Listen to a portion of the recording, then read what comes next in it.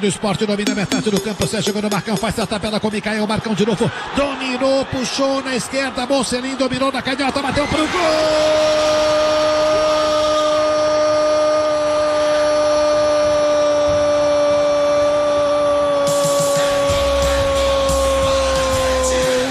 do esporte!